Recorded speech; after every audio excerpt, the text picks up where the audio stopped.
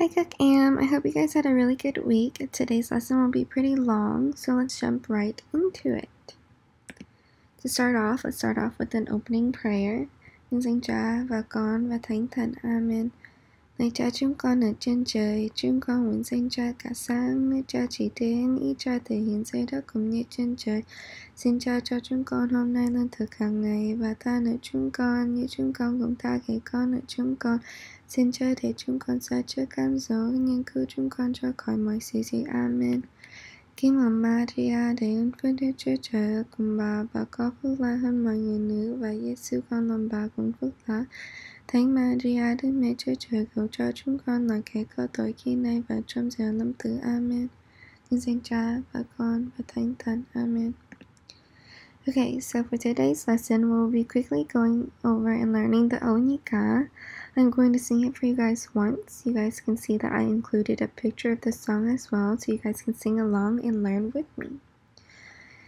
Đoàn yên như những mầm mầm non xanh tươi luôn vui cười luôn ngoan ngoãn sống đời ông nhi nguyện bền trí theo cơn Chúa Giêsu tuổi thơ rơi bông cờ em mang Chúa cho tuổi ấu thơ So this song translated means we are all like young green seedlings, always smiling and obedient as we live our lives as an Oni.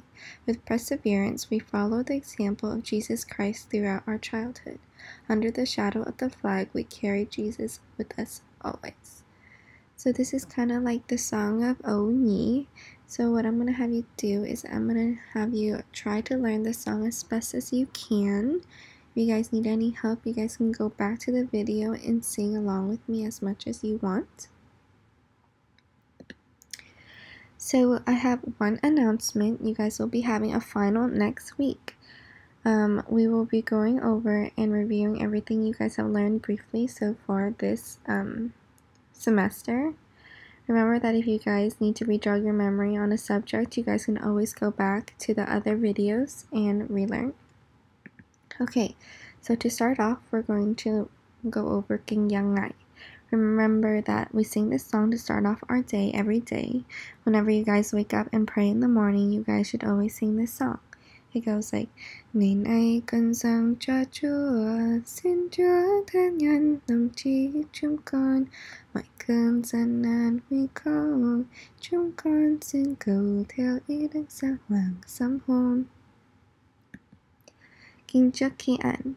You guys sing this before you guys eat. We usually sing this in class before you guys go off and eat your lunches, so you guys should know this pretty well. If you guys do not remember how it goes, I will sing it for you. It sounds like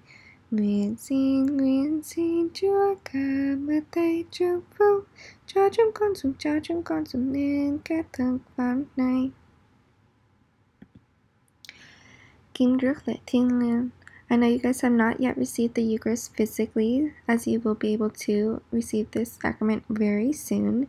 Just because you guys cannot receive it physically does not mean you guys cannot receive it spiritually. By saying this prayer, you guys are receiving the Eucharist spiritually. It goes like, Lạy Chúa Giêsu Thánh Thể, con yêu mến Chúa, xin Chúa ngự vào tâm hồn con và ở lại với con luôn mãi. Motto and colors for Oni. Oni's motto is Nguan, which means obedient. That's why whenever we scream out Oni, you guys respond with Nguan. To be obedient means listen to the elders. That means your parents, grandparents, teachers, and to be polite to others and be honest. The color for Oni is green. This is why the Oni scarf is green. There is also a yellow cross in the back. The Oni scarf is green because green is the color of a young tree. This young tree represents you guys, Oni. The young tree is still growing and needs a lot of care and nurturing. Toma. So Toma Thien is our patron saint. He died at the age of 18 because he refused to step over the cross and deny Christ. He was canonized in June of 1988 by Pope John Paul II. His feast day is September 21st. Yam Amped Up is a set of commands to line up in, in teams in certain formations during camp or in a classroom setting. Formations can be like circle, semicircle, horizontal line, and a lot more. The most important thing when it comes to Amped Up is to be quickly, quietly, and orderly. If these are achieved, then your Amped Up is really good. So, what does it mean to be a leader? Some traits of being a good leader is team player, role model, honest, inspiring, you don't back down, you help classmates, you listen to your teachers and classmates, and you are respectful. Month of the Rosary. The month of the Rosary is October because October we celebrate the mem- memorial of Our Lady of the Rosary every year on the 7th. We honor Mary for protecting us in the church by praying the Rosary. How to pray the rosary. I set a picture here to remind you guys, but I will briefly go through it. You pray the Apostles' Creed first, followed by an Our Father, three Hail Marys, and one Glory Be. Then you state your first mystery. That is followed by one Our Father, ten Hail Marys, and one Glory Be. Then you state the second mystery, and you do the same until you finish your fifth mystery. Each day of the week correlates with a specific mystery, so I have included which mysteries for which day. The Ten Commandments. You guys have been taught this for a long time now, so you guys should know them pretty well, but I will go through with that. I will go through with the I will go through them with you one by one. Number 1. I am the Lord your God. You shall not have any other god besides me. Number 2. You shall not take the Lord's name in vain. Number 3. Remember to keep holy the Sabbath day. Number 4. Honor your mother and father. Number five, you shall not kill. Number six, you shall not commit adultery. Number seven, you shall not steal. Number eight, you shall not bear false witness against your neighbor. Number nine, you shall not covet your neighbor's wife. And number ten, you shall not covet anything that belongs to your neighbor. The seven sacraments. They are baptism, reconciliation, Eucharist, confirmation, anointing of the sick, marriage, and holy orders. You have only received one sacrament by now, and that is baptism. This year, you guys will receiving you will re, be you will be receiving the sacrament of reconciliation and the sacrament of the Eucharist. Act of contrition. This is a prayer recited during confession. The priest will ask you to recite this prayer before he gives you penance. It expresses in words a deeply personal act that engages a person's affection and will. Basically, it expresses how you are sorry for sinning and hurting God, and you will try to sin no more. Here you can see that I have included the Vietnamese version and the English version. I will read out the English version for you. Oh my God, I am heartily sorry for having offended thee, and I detest all my sins because of thy just punishments, but most of all because they offended thee, my God, who art all good, and deserving of all my love. I firmly resolved with the help of thy grace to sin no more to avoid the near occasion of sin. Amen.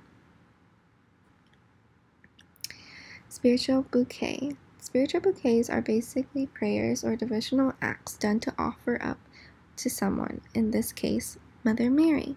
The idea of the spiritual bouquet is that each individual prayer or deed, once prayed or done, becomes like a flower. So we always suggest you guys keep up with your spiritual bouquet because in the end you will be offering this up to God. Semaphore. I have included a picture of all the letters in Semaphore. Remember that you guys will be tested on Semaphore for your final. I suggest that you guys memorize it pretty well. Um, remember that you guys can always go back to the other videos to redraw your memory on how to do letters A through Z.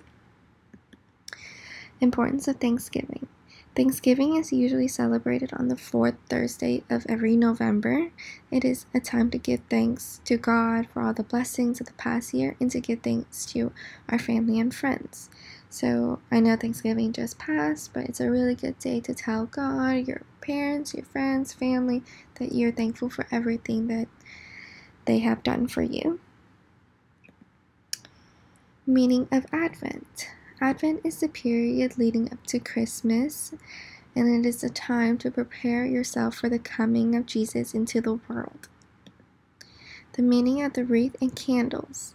The Advent wreath is made up of evergreen wreath and four candles. The four candles represent the four weeks of preparation for the coming of Jesus, the color and meaning of the candles. Basically, the three candles that are purple represent prayer, penance, and sacrifice, and the one rose candle represents joy.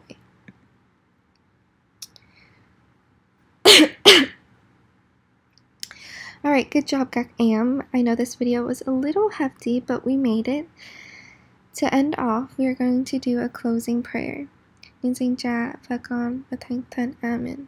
Xin danh Đức Chúa Cha và Đức Chúa Con và Đức Chúa Thánh Thần như đã có trước vô cùng và bây giờ và hằng có và đời đời chúng cùng. Amen. Good luck next week, Gak Am. Remember to study really hard for your final. You guys are going to do great, and I know it. Good luck.